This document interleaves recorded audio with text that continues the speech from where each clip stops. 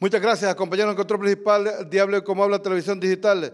Le tomamos el pulso al primer año de administración eh, del actual gobierno de doña Castro Sarmiento.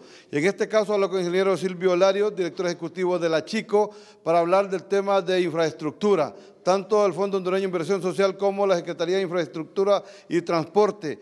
¿Cómo las califican pasado estos eh, primeros 12 meses de administración, ingeniero eh, Silvio? Muchas gracias. Bueno, no es de cómo la chico las califica, sino cómo ellos se desempeñaron, los números hablan por sí solos.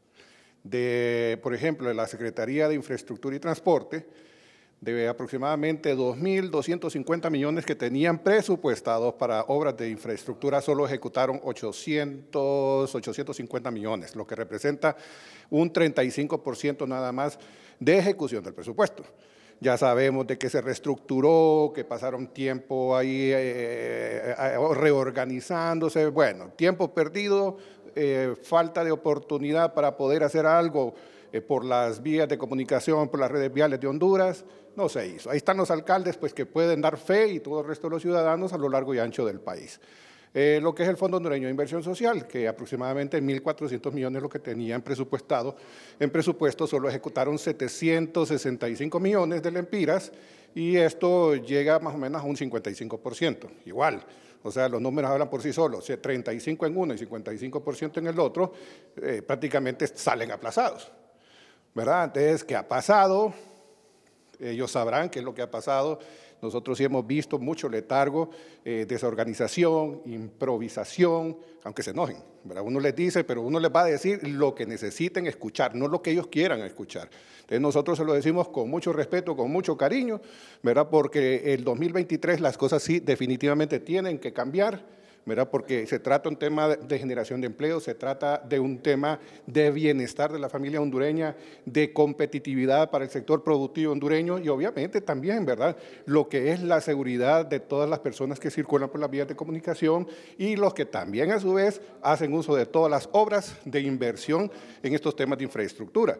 Las alcaldías también, pues obviamente han quedado un tanto cortas, ¿verdad? El Distrito Central, pues eh, sí se vio trabajo, pero igual, ¿verdad? No llegaron a, poder decir a una meta, a un punto que podríamos decir aceptable.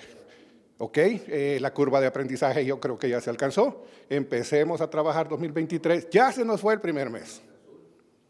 Nos quedan 11.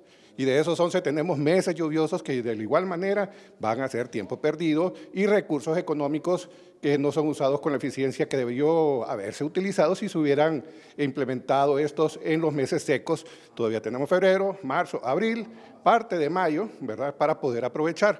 Pongan las barbas en remojo y pónganse a trabajar de una sola vez. Ingeniero, si tenían suficiente presupuesto para darle respuesta a las necesidades de la infraestructura, especialmente eh, algunas carreteras eh, de difícil acceso donde hay mucha producción y, no lo pudieron hacer, ¿por qué pasa esa debilidad? ¿Dónde está esa debilidad que la gente exigiendo, exigiendo y no hay respuesta?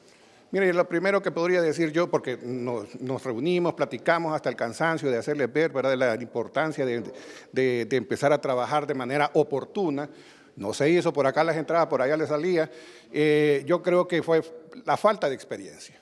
¿verdad? Y sí, en parte lo que es la reestructuración, ¿verdad? De, de, un gobierno, la transición de un gobierno a otro, pero eh, no de, esto no debe de suceder.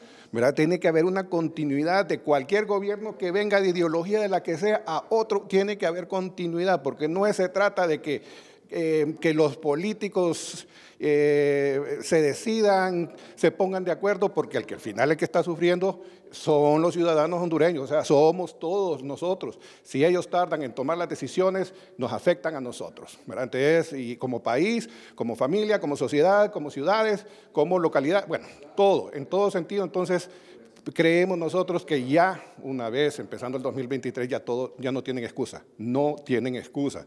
Ya tienen hay personal calificado trabajando pero obviamente las decisiones que se toman arriba, ¿verdad? Eh, eh, es donde tarda de arriba para abajo que llegue para que se puedan ver las obras de manera oportuna. Miren, no se trata de que no haya dinero, por el amor de Dios. Lo que es la tasa, eh, la tasa que se le aplica al combustible, que parte es para lo que son inversión social, también otro es para lo que es el mantenimiento de las redes viales, el patrimonio vial, Ahí está, ese recurso debió haberse utilizado. Sí, también hemos notado que hay una falta de coordinación o comunicación entre todas las instituciones con CEFIN. Entonces, eso lo tiene que mejorar de manera inmediata.